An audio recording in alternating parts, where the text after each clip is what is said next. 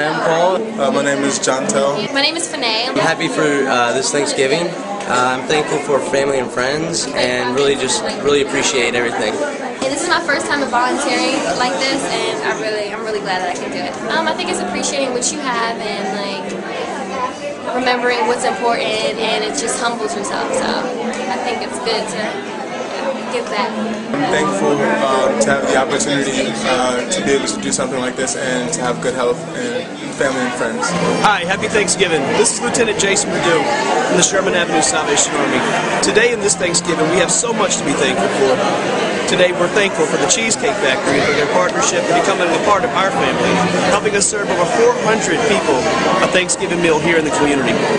Thank you so much, Cheesecake Factory. God bless you. Happy Thanksgiving.